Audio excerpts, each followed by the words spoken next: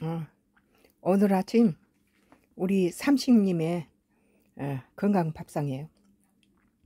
어, 이 에, 귀리밥에다가 머위 넣고 찰옥수수 넣었죠. 요즘 수확한 찰옥수수를 넣은 귀리밥에 어,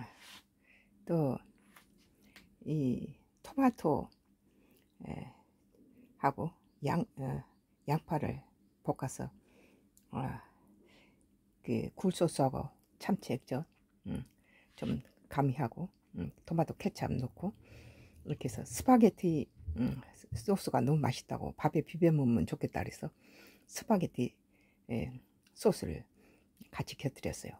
예, 아, 여름에 이제 더운 국물은 뜨거운 국물은 더우니까 시원하게 냉장고에 만들었던 스파게티 소스를 넣고 이제 또 감자하고 계란 삶은 거, 또 양파하고 어, 오이 식초에다가 새콤달콤하게 조, 졸인 걸 꾹 물기 꾹 짜고 어, 방울토마토하고 예, 계란 감자 삶아서 어, 이렇게 넣은 거 하고 예, 같이 이렇게 예, 단백질과 이 샐러드 한 접시만 먹어도 단백질 또 감자는 알칼리성 탄, 탄수화물이기 때문에 젖산이 축적되는 걸 방지하죠.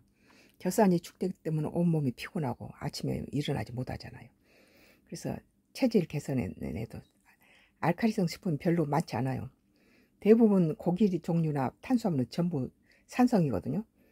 근데 이 감자가 아, 몇 개 안 되는 해조류하고 감자가 이렇게 알칼리성 식품이라서 예, 그 영양만 따지고 그런 것보다도 이 예, 체질이 또 산성화되는 걸 방지하기 위해서는 알칼리성 식품도 같이 먹어줘야 돼요.